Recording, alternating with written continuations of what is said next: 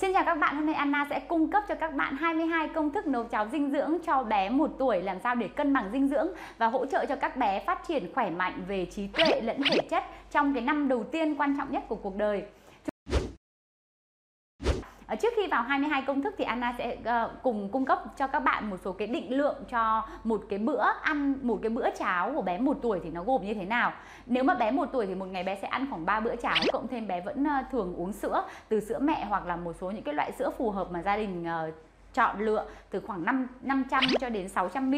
Vậy à, ba bữa cháo á, thì một chén cháo nó khoảng 200 ml nó giống như kiểu là một chén trong à, bát con á, khoảng 200 ml nước thôi. Và trong đó thì có khoảng 20 g à, protein tức là chất đạm, 20 g tinh bột tức là gạo và 20 g rau. Rất là dễ nhớ đúng không ạ? 20 20 20 à, thế thì cái định lượng mà 20 20 20 đó nó mình sẽ đo như thế nào? À, Anna ở đây Anna có một cái thìa đấy cái thìa này gọi là cái, cái là, là cái thìa súp hay là cái thìa canh. Thì nếu mà một cái thìa này thì nó vào khoảng mà mà là đạm á thì nó vào khoảng 15 gram Tức nếu như mà 20 gram thì nó chỉ hơn một thìa này một chút thôi. Thế còn nếu mà một thìa này tinh bột thì nó sẽ rơi vào khoảng 5 gram Một thìa này rau nó cũng rơi vào khoảng 5 gram Bạn lấy như vậy để bạn có một cái định lượng tốt cho cái uh, chén cháo cho con nhé uh, à, Mình nhớ rằng là mình cho bé mà ăn nhiều hơn so với cả cả định mức á Thì nó sẽ làm cho cái hệ tiêu hóa của trẻ bị mệt Đặc biệt là chất đạm. Nhiều khi mình thương con quá mình cho con mình ăn cả một cái con tôm rất là bự Nhưng mà cái điều đấy chỉ làm tổn hại đến cái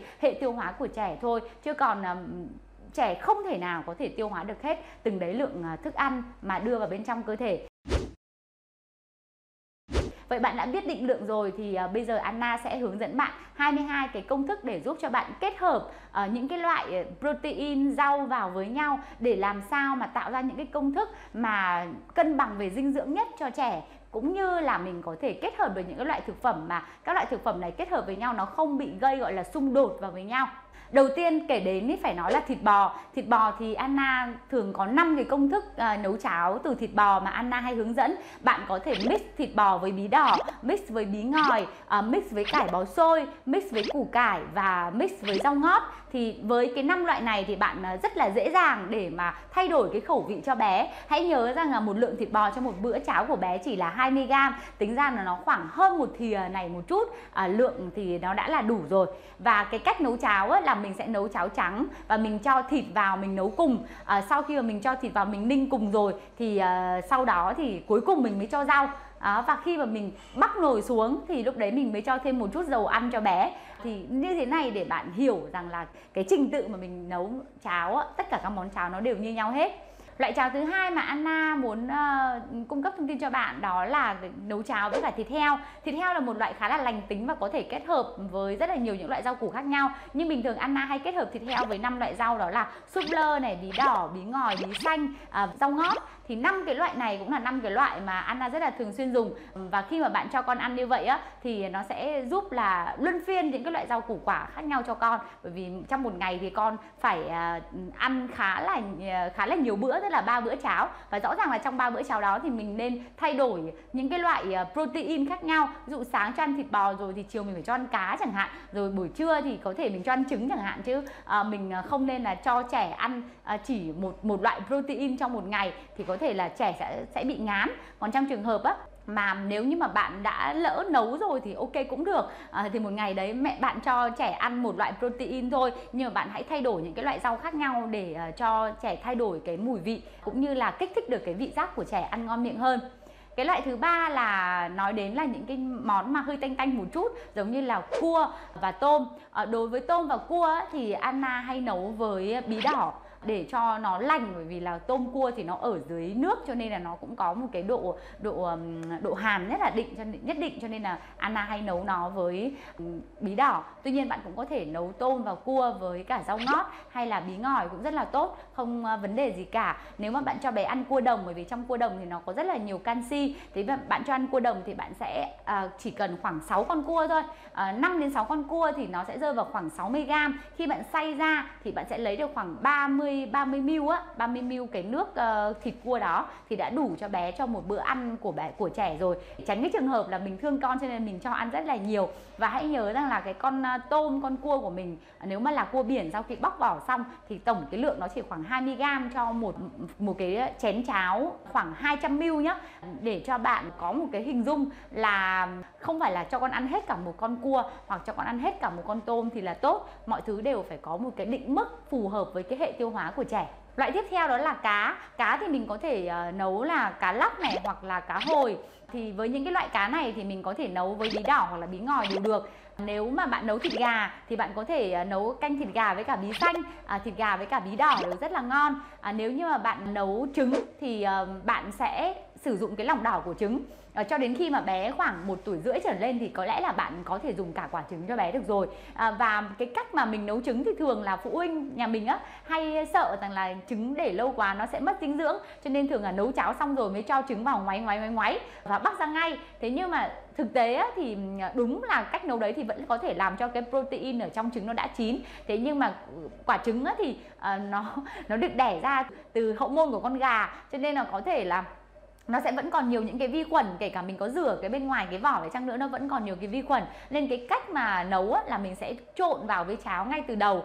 Và đến khi mà mình uh, ngoáy cháo cùng lên đến khi mà cháo từ nguội mà đến uh, nó chín và nó bắt đầu hơi có dấu hiệu là bén bén rồi thì lúc đó là được rồi. Và cái quy tắc vẫn là mình sau khi mình đã bắc xuống thì mình bắt đầu mình cho khoảng một thìa nhỏ cái dầu chuyên dụng dành cho bé. Nói đến cái dầu chuyên dụng mà dành cho bé thì Ờ, chúng ta thường sẽ hay dùng ờ, dầu gốc hoặc là dầu ô liu. Anna thì Anna thực sự là khuyến khích là chúng ta dùng dầu ô liu hoặc là những cái dầu mà tươi làm từ mè cũng rất là tốt cho cái ờ, tiêu hóa và cái, cái nhu cầu về chất béo của trẻ. Trẻ thì một ngày trẻ cần phải bổ sung tối đa là khoảng 20g cho đến 50g chất béo. Cho nên rằng là mẹ cũng có thể yên tâm để mà bổ sung. Tuy nhiên mình không nên bổ sung quá nhiều. Nếu mà mình bổ sung khoảng một cái thìa nhỏ như vậy là là cái thìa cà phê á thì nó cũng đã có vài gam chất béo rồi và nó cũng đã đảm bảo cái chất béo trong cái bữa ăn cho trẻ.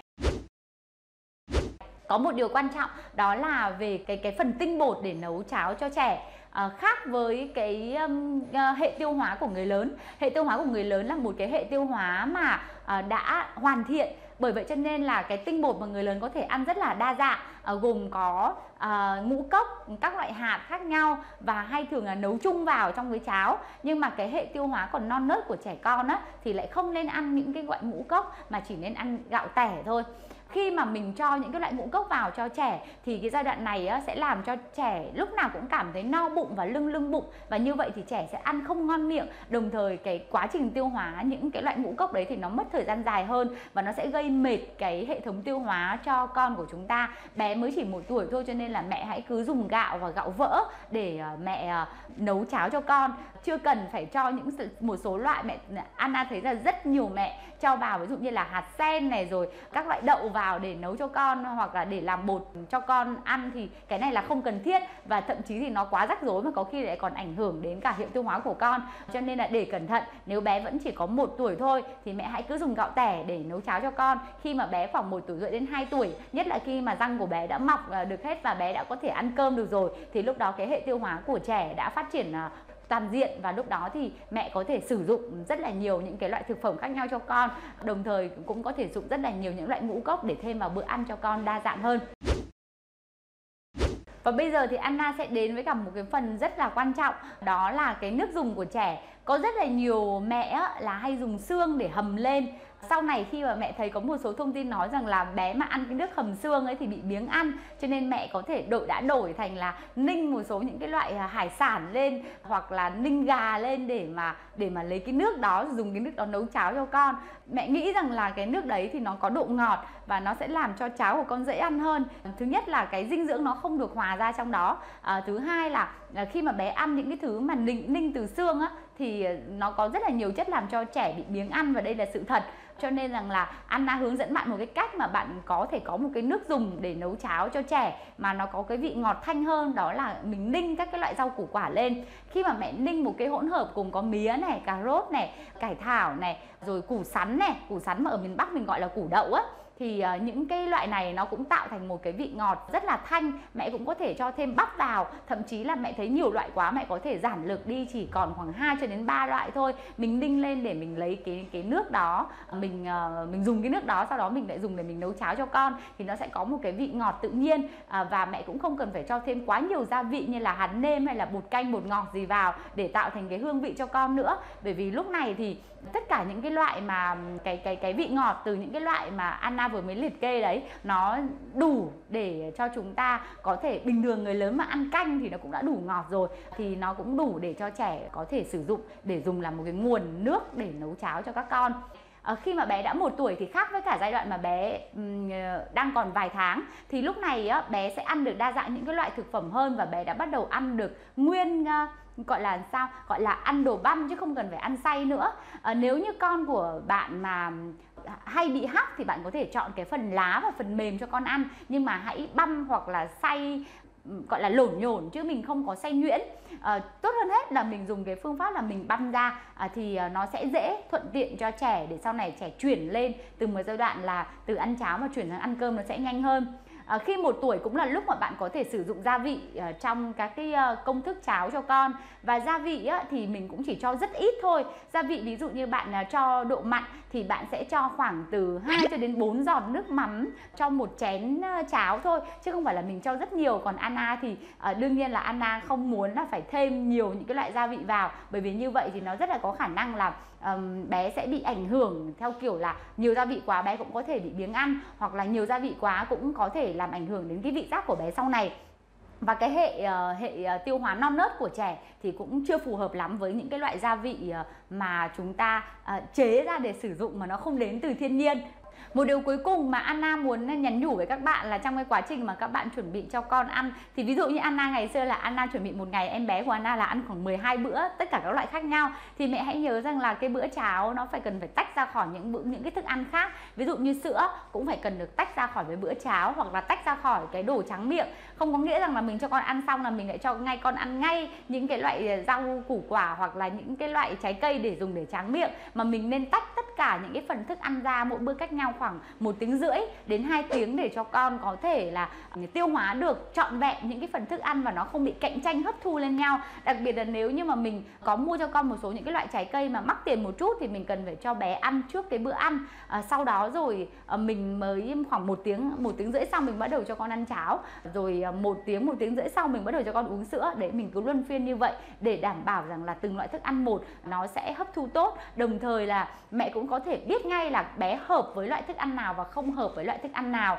Mẹ cũng tránh là mình ờ, trộn nhiều những cái loại ờ, thịt khác nhau ờ, hoặc là quá nhiều loại rau khác nhau trong cùng một cái bữa cháo.